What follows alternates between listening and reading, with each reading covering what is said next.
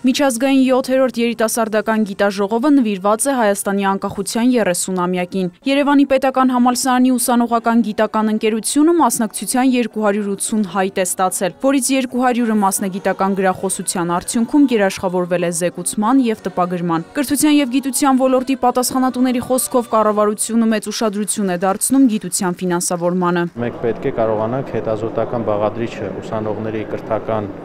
այսպես բաղադրամասում, բաղադրիչում մեծացնել եւ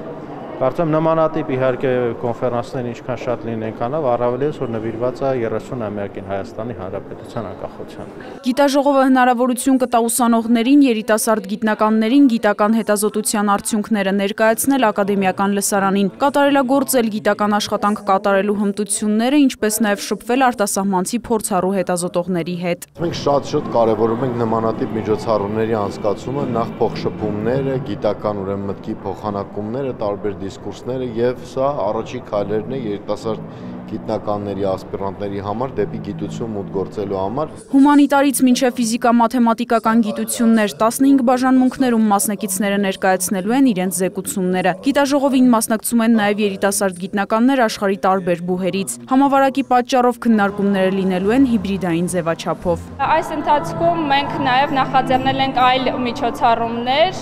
մասնավորապես մշակութային երեկո, ազգային երգի, բարի,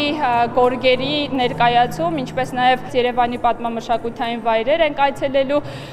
որպիսի նաև արտասահմանյան մասնակիցներին ի ցույց տնենք մեր մշակույթը։ Միջազգային 7-րդ երիտասարդական գիտաժողովը տևելու է 5 օր, հոկտեմբերի 4-ից 8-ը։ Ավարտից հետո երիտասարդ գիտնականների ներկայացրած հետազոտական աշխատանքները կտպագրվեն ուսանողական գիտական ընկերության գիտական հոդվածների ժողովածուում։ Էլեն Սարգսյան, Հովանես Քյոսեյան, Լուրեր։